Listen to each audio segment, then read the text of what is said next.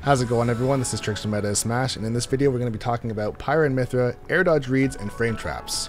But before we get into the video, I want to give a quick shout out to a small YouTube channel called Avalon. This channel does the highest level editing for montages I've ever seen in my entire life, and it is honestly a crime that more people do not know about them. So please do me a huge favor and check out their channel and leave a comment on their video saying hello from Meta of Smash. And now let's continue on with the guide. Mythra's combo game is fairly straightforward and typically consists of 2 to 3 hit combos. And since her aerials and tilts are not only disjointed but have incredible frame data, opponents typically try to either mash air dodge or jump out of most situations. But Mythra has the ability to take advantage of a lot of these situations provided that you know where the holes are in your own setups. It's very important to add combo delays in between strings, especially after combo finishers, to allow your opponent to press a button, make a mistake, and put themselves into end lag.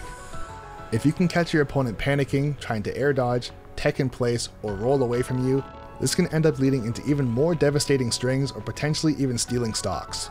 One of the main reasons why this concept is incredibly viable for Mythra players to understand is because Mythra's combo game is so basic. But with that being said, if you do try to overextend and press buttons when you don't actually have frame advantage, you can easily get reversed.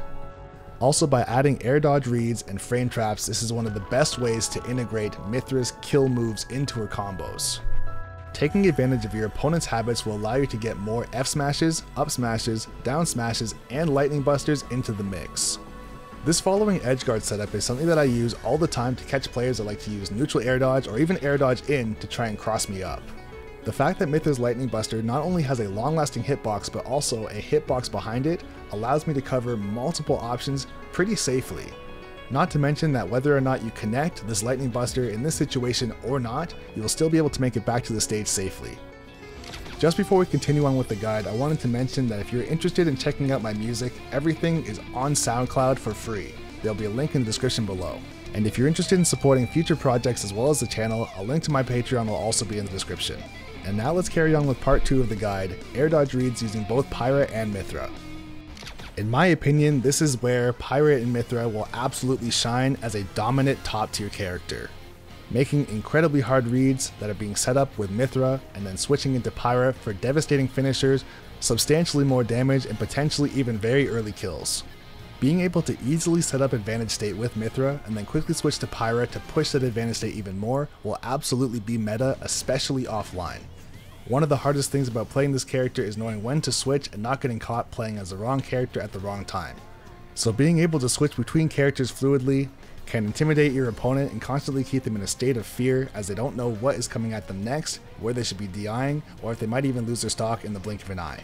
In many instances at high level play, players may have a very strong read on their opponent, but may not have the awareness to switch between characters, which may ultimately leave their opponent's game much weaker than it should be. For example, a read like this could have been made by solo Mythra, but of course Dark Pit would not have died. The same thing goes for not switching when you put your opponent onto a platform. In this situation, a Mythra up tilt or up smash would have worked just fine, however, a Pyra up smash will always be much more devastating and much more terrifying for your opponent. This will also save you time and get you into position faster when setting up for juggle situations. And with that, that's going to be it for the video. Once again, this is Trickster Meta Smash saying thanks for watching the video, and please be sure to subscribe to the channel for more videos just like this.